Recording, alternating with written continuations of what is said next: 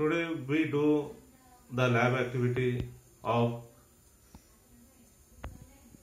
double displacement reaction. We require to, to do the lab activity require two chemicals. We taking one sodium sulfate and another one is barium chloride.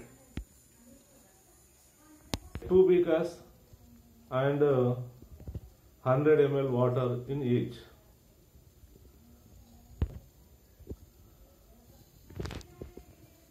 We taking some quantity of sodium sulfate and uh, dissolving uh, in the water and see the color of the liquid. We can observe that there is no color.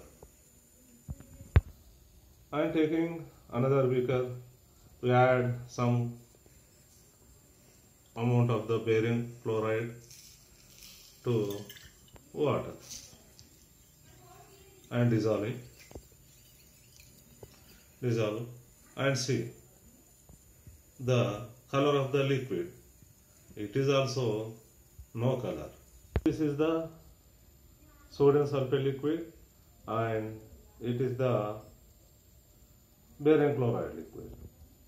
So we are adding sodium chloride liquid to so sorry sodium sulfate liquid to barium chloride.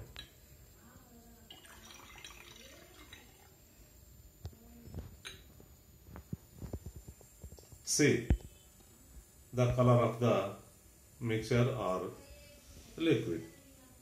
So in this reaction we can say that when we add in the liquid to barium chloride solution the sodium sulfate react with the barium chloride solution and product that is the white precipitate barium sulfide. So we can say that this is the double displacement reaction. So, oh, thank you.